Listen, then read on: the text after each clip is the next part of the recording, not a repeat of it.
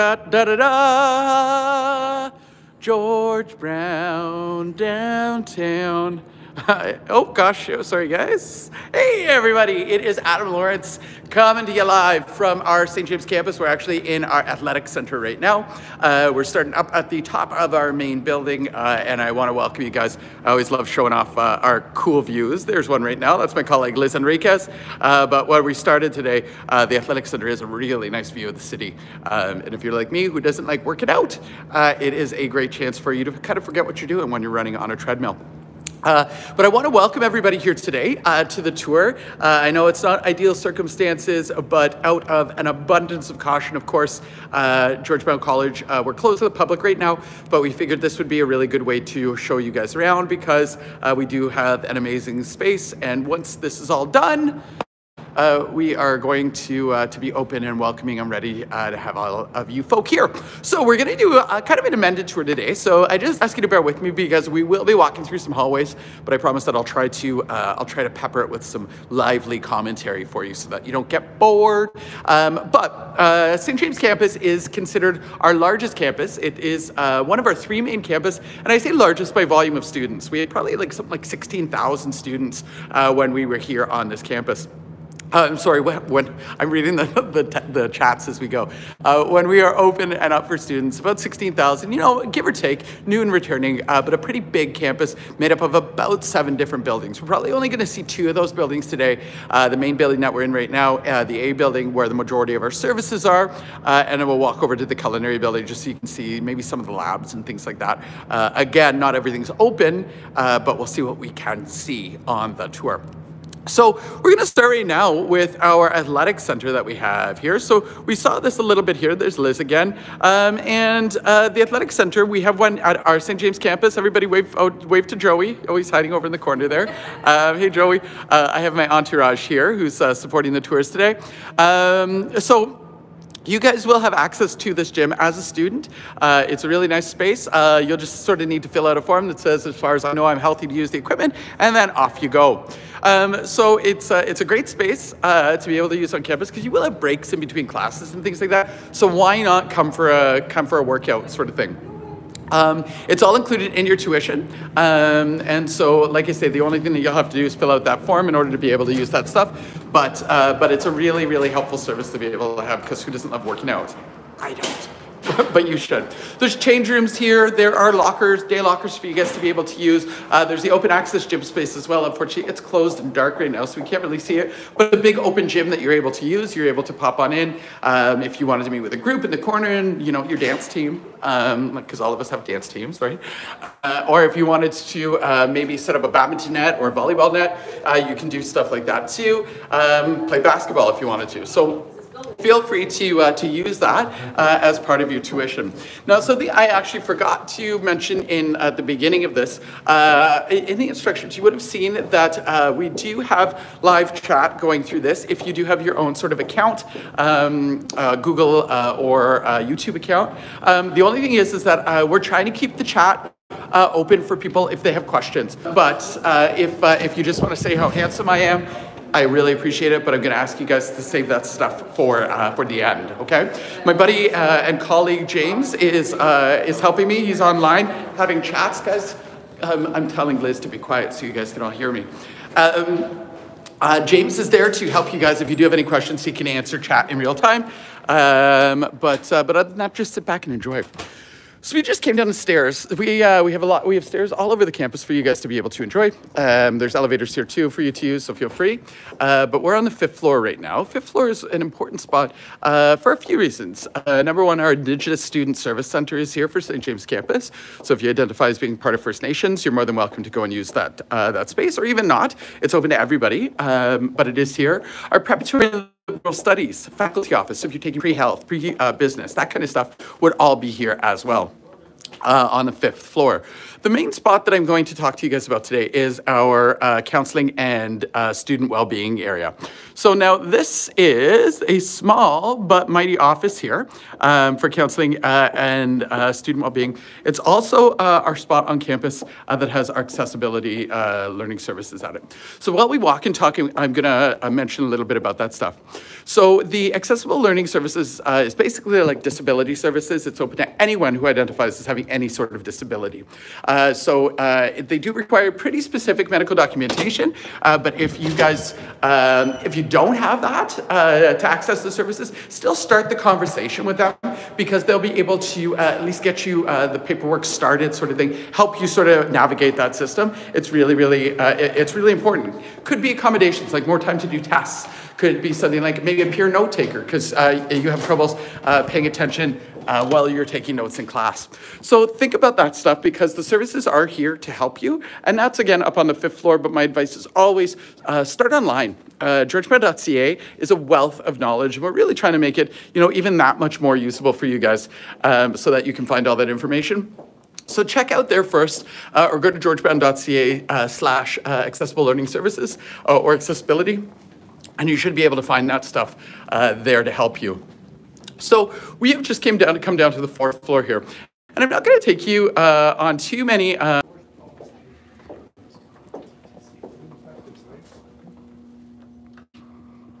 okay, I think I'm back on now.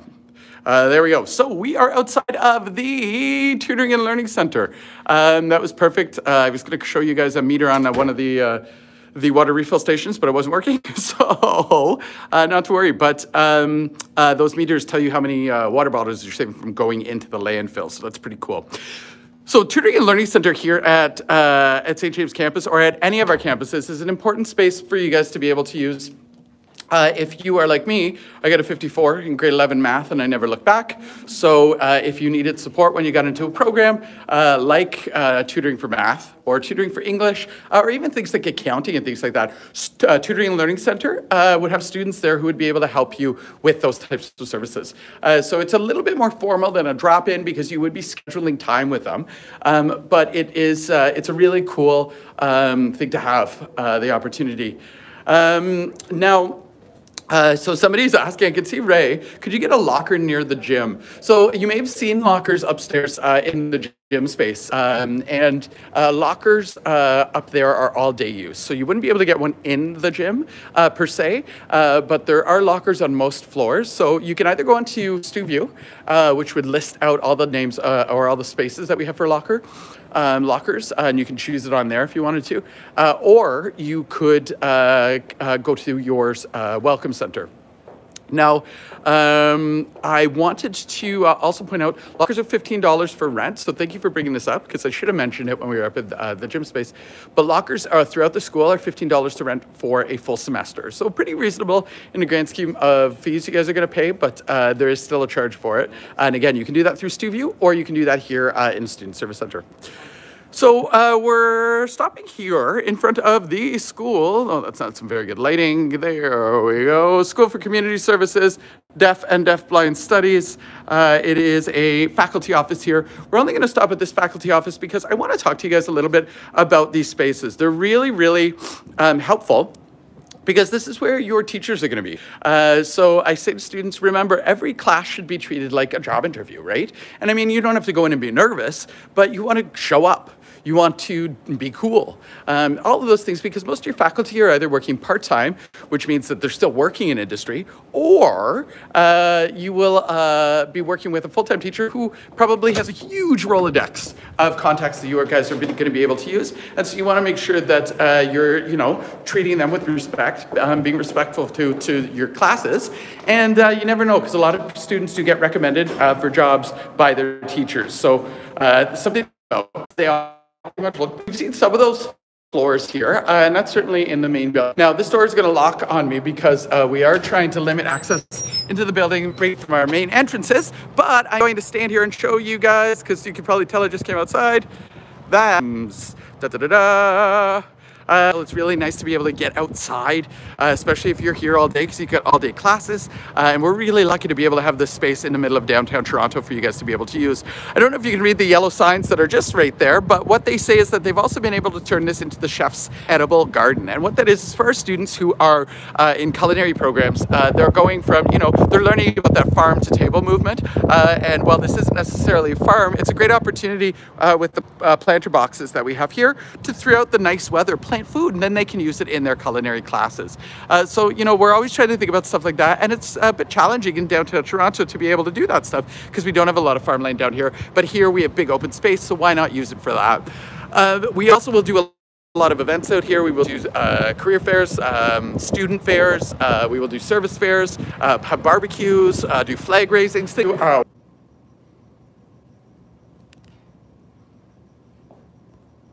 Okay, I think we're back on. I apologize for that, guys. Uh, just some technical difficulties here. Um, but hopefully you guys are able to hear me and see me now. Uh, so uh, the uh, uh, admission or assessment center is here for you to either do assessment center uh, assessment tests for your admissions, um, if you needed to test for your math or your English, for instance, um, or for when you're starting classes, you'll probably have to do a placement test. Placement tests are to decide whether or not you go into um, the college level math, I'm sorry, or uh, the college English class. So think about that. Um, if it says that you have to come for a placement test, now you know if you're at St. James where you got to go. That's the second floor in the main building here. So we're going to do a quick walk around of the uh, student uh, student association space. We have our own little tuck shop here, or convenience store here. Uh, here is the SA. So at St. James campus, we call this the King's Lounge. Um, and uh, you'll see this space here. Uh, some of the food options are closed, unfortunately, because again, we don't have students here, but uh, they're still doing what they do the best. Um, they have TVs up in here. There's tables. There's spaces for you guys to hang out, uh, to have a good time. Uh, and again, Student Association is here as your student advocates. Um, you're going to want to make sure you know what uh, you have uh, you're entitled to through the Student Association because uh, you do pay fees in them, and you always want to get a you know bang for your buck sort of thing. So they will offer things like your King's Lounge space there for you to be able to use. They'll offer things like um, they have a food bank here, so find yourself a little strap for cash. They call it Student Nutrition Assistance Program now. Um, and so if you find yourself a little strap for cash, which we all do, uh, when I was first starting school, who knew to budget for groceries and stuff like that? I was always like, mom's going to feed me. Um, but if you find yourself a little strapped for cash, and need food, you can pop in there and you can get uh, some great food. Uh, no, no questions asked, all confidential sort of thing. Uh, so please feel free to do that if you need to. Uh, they have a safe walk program here on campus. So if you're coming to school, you're a bit nervous about being downtown for the first time, uh, you can come to the safe walk area. Uh, and there's it's Safe Walk is students who are here on campus to help take you guys. Uh, uh, if you're here after hours, uh, walk you to your car, walk you to the closest uh, subway station, things like that. So we are at the Library Learning Commons, uh, and so we're on the main floor now for the building. And uh, I'm going to quiet down so that I'm not loud. But Library Learning Commons here. Liz is walking ahead to to announce us, to welcome us here. Uh, and so Library Learning Commons uh, has things like open access computers. It's your library, right? Uh, your print shop would be here as well. You've got books uh, and whatnot over here for you guys to be able to use. Um, and your library really is your one-stop shop for any of the work that you guys got to do outside of class. So it's important to know that this space is space is here for you because there is a lot of work that you're going to have to do outside of class. And so we want you to have all the things that you need. So we have online databases for you guys to use. There's just something like 80 to 100 different online databases. Uh, there's equipment you can take out of there. So not just, um, you know, the books. You can borrow laptops and MacBooks and iPads. Uh, there is quiet study space for you guys to be able to enjoy if you wanted to as well. So some really, uh, some really great stuff to make your time here uh, usable. Because uh, like I said before, you may not have class uh, every single minute of every single day. In fact, I can guarantee that. So in those breaks, if you want to do some great work, you have spaces to be able to do that in. So we're going to move from borrowing books to buying books, and we're going to take a look inside of the bookstore. There's Liz waving. Da, da, da, da.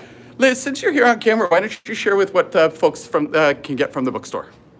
So, hey everybody, um, depending on what program you're in, you're going to be given a list of either textbooks that you need to purchase, or in the case of the chef school, certain equipment and uniforms. So all that is available through the campus bookstore.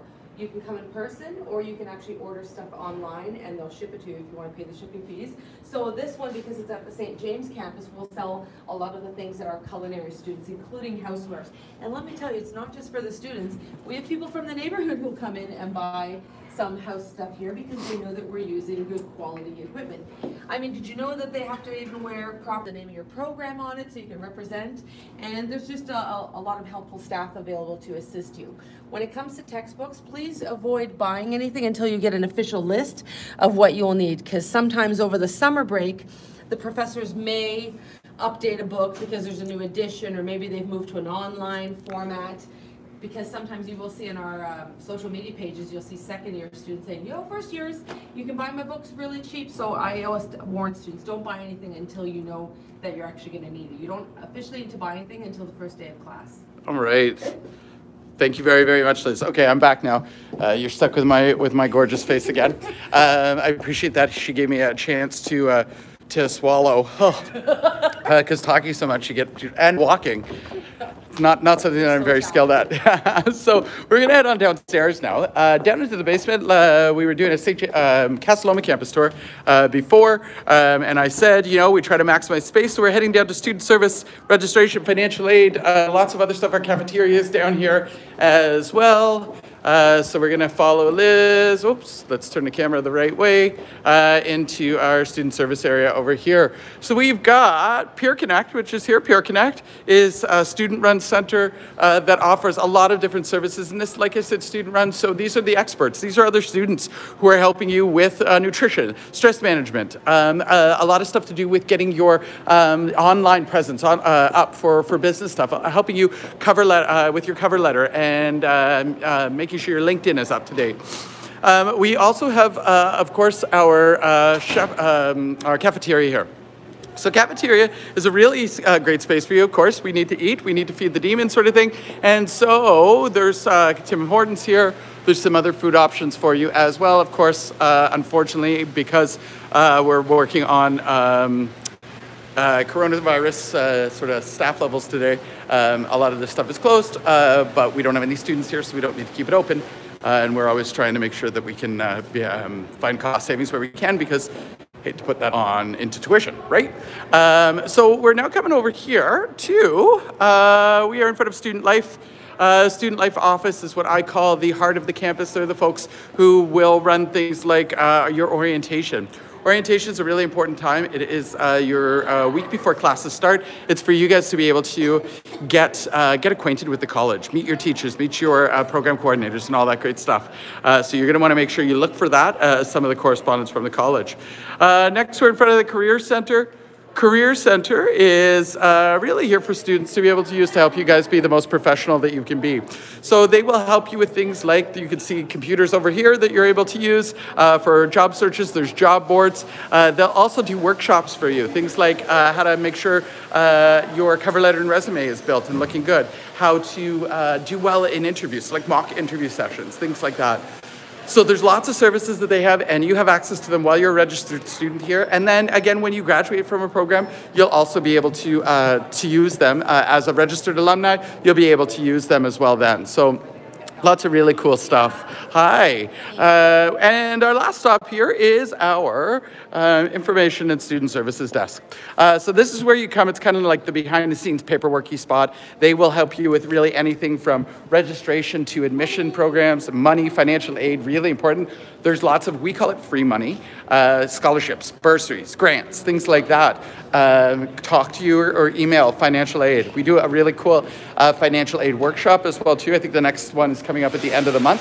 Um, so uh, my colleague Liz, who's here with me today, she runs that and she's awesome. Um, so if you want to join us for that, if you go to the info sessions page uh, on georgebrown.ca, you'll be able to register for that one uh, to get the link and everything to join us. Okie dokie. So our last stop over here is going to be our lobby here at St. James campus. Uh, it is for you to come in and feel welcome and comfortable and all that great stuff. Um, and, oh yeah, and hand sanitizing, always very important. Wave, my love. Um, so welcome desk. Uh, welcome desk, one of my favorite spots on campus. Uh, those folk you see back there are students. Um, they are here to help you, to welcome you, uh, make sure that, uh, that you're feeling safe and comfortable. If you need help finding a room, um, if you're a little bit nervous, because you don't know where to go, as most people are uh, when they start something new, you can always come to the welcome desk and chit chat with them because they're all wonderful. And like I say, they are students, they're involved, they're really excited to be here. A lot of these students, too, um, who will go through these programs, uh, are um, students who have uh, students who have been here, um, uh, who have gone into our student. I'm sorry, um, somebody's messaging me. I'm sorry, guys. um, uh, they are students who got through our student leadership program.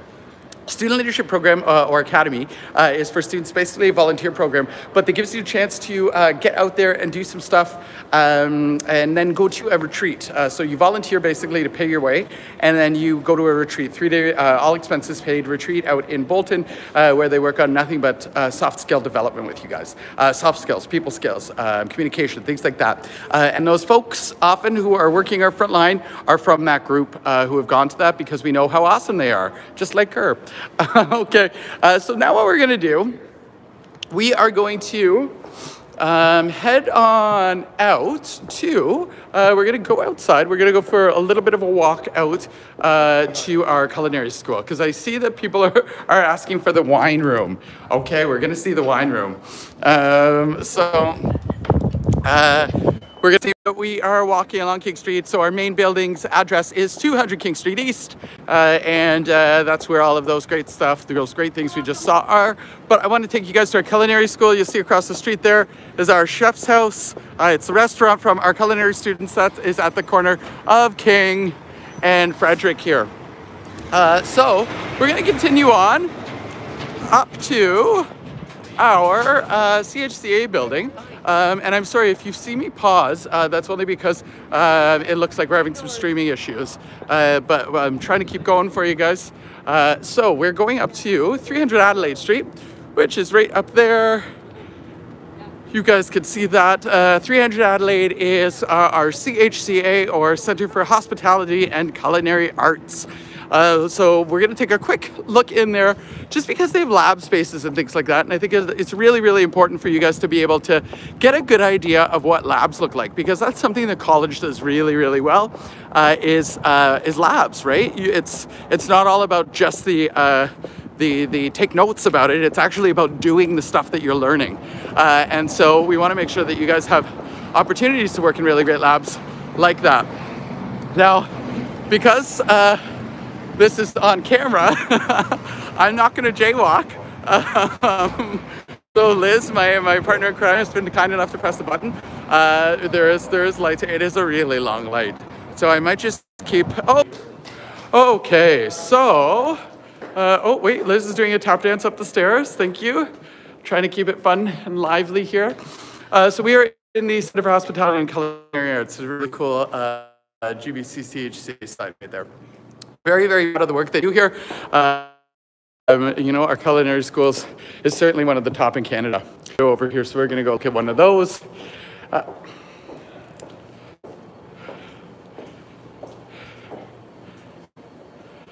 and I think I'm buffering, so we're going to just wait a quick second.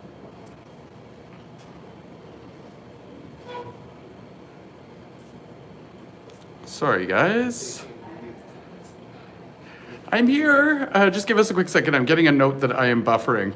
Um, so, um, so we're going to continue looking at this space here. Uh, so this is our advanced lab, and you can see all the great stuff that student uh, will have access to. They can come on in here, uh, use all the equipment and whatnot, and so you'll see students when they are here, they're actually bouncing around in there using uh, all of their stuff, um, all of the equipment that they bought uh, at the, um, the bookstore. So I know Liz was uh, showing you guys like knife kits, um, and stuff like that, things that we call materials. And so those are things that you would need for a class.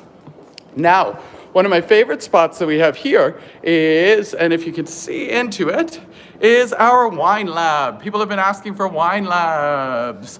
Uh, and so, hopefully you guys can see there. I'll try to block out so light. Basically, it's a big, wonderful space where you get to taste a lot of delicious wines. Uh, of course, uh, under the under the air of, of learning, always uh, you guys will be, uh, be able to do that uh, in that space there.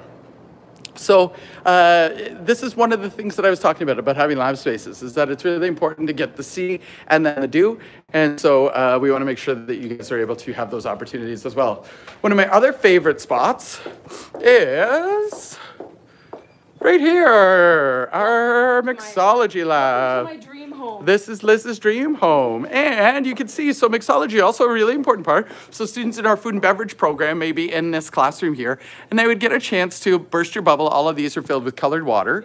Um, but it gives you a chance to know what it would be like to actually work behind a fully stocked bar. Uh, and you will get a chance to make actual cocktails in here, uh, but for the most part, you're gonna be practicing uh, eh, with these uh, with the with the cheap stuff, quote unquote, um, to be able to uh, to do the stuff that you need to do uh, when you learn, uh, so that uh, it isn't costing a fortune if you screw up, sort of thing. Because alcohol can be expensive, spirits can be expensive. Um, so so these are some another one of the great labs that we have here at the college. Now, I'm going to show you as well too our chef on the run. So Chef on the Run is uh, our retail outlet. So students who are in our um, uh, culinary classes, here's another one of our culinary labs. Um, yeah, the culinary classes, uh, they have large quantity kitchens, so you can see us through the windows, waveless. Um, uh, the culinary classes will uh, have large quantity kitchen class, uh, where you guys will be making your own uh, like banquet amounts of food kind of thing. Um, and so uh, if, you, if you are in that class and the food, we don't want it to go to waste, it'll end up coming down here to Chef on the Run and it'll get sold as a, in the retail outlet space. So people from the community, staff, students, people who live around here, all will be able to come and enjoy delicious food products, all for really, really reasonable price um, and uh, made with the discerning eye of our chef students. So um, you can see, here's another one of our lab spaces that we have. This is one of our culinary labs you can see. Uh, uh, you'll see up at the front here, there's a stove. Can we see that? Oh. Um, so there's a stove in that. Uh, you can see the stoves that the students would be working on. Uh, so again, some really, really uh, great spaces for you to be able to do the work that you need to do uh, for class. Because as a chef, you don't want to get out of here and be like, oh, okay, I've learned, uh, I've learned about all the recipes, but I've never had a chance to actually make anything. Uh, not here. You're going to be cooking almost every day. So really, really uh, cool spaces. And all of our campuses will have spaces like this in it. Uh, so you know what? With that, I think we're going to end the tour here today. Uh, we've uh, we've had a lot of opportunity to talk about the spaces uh, on campus that will keep you successful, so our services and things like that. Um, and then I also wanted to show you, like here, a little bit of our classroom spaces that we have. So when you guys are coming to the college, a couple things to keep in mind. Of course, next steps, if you've applied and you've gotten in, great. Uh, welcome. We're, we're hoping you're going to accept us. Um, if you haven't heard from back from us yet, but you have applied, please try to be patient, um, especially right now with all the COVID-19 stuff. And because out of an abundance of caution, um, we're, uh, we're really trying to be um, smart about, about having things open here today uh, and in general. Um, uh, what else do you need to know? Uh, after uh, you get your offer, so we're going to assume you've gotten an offer. If you go on to georgebrown.ca, uh, you go through Ontario colleges, rather, excuse me, uh, you're going to want to accept your offer. Usually that happens beginning of May. After that, you would pay your $500 non-refundable deposit uh, to hold your seat, and the college will send you lots of information about that, but usually it happens mid-June. After that, you register for your classes, and then come the end of August, you would be coming to your orientation. We talked a little bit about that before. And then you start school the very next day, uh, sorry, the very next Tuesday uh, after Labor Day. If you're starting September, that's when we always start. Uh, and you would, uh, you know, uh, become a master in your industry, take over the world, make a bajillion dollars, and then remember uh, this guy here. So please, please, please, um, if you have any questions, I see people have been active in chat, and that's awesome. That's the whole point of doing these live tours. I hope you've enjoyed. Um, I know we've been having some problems with buffering and that, so, at least on my end, so I hope it hasn't ruined uh, much of the experience for you guys. Uh, but uh, please feel free, if tours at georgebrown.ca, T-O-U-R-S at georgebrown.ca, that's where you guys can go, and uh, I will answer emails from there. Um, as well too, if you go onto georgebrown.ca, under any of your program areas, you'll be able to find uh, your faculty office, uh, the contacts for your faculty offices, and they should be able to help you there as well. So um, stay healthy, stay safe. Uh, and uh, hopefully we'll see you down here at the college.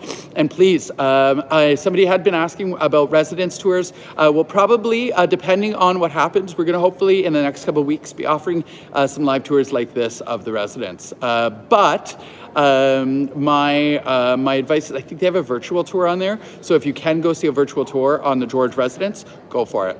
All right, guys, have a wonderful day. Like I say, stay healthy. Uh, and again, any questions, georgebrown.ca. And thank you to my buddy James, who's been doing a chat. I appreciate it. We'll talk to you all soon. Bye bye. And excuse my finger because I'm just turning us off here.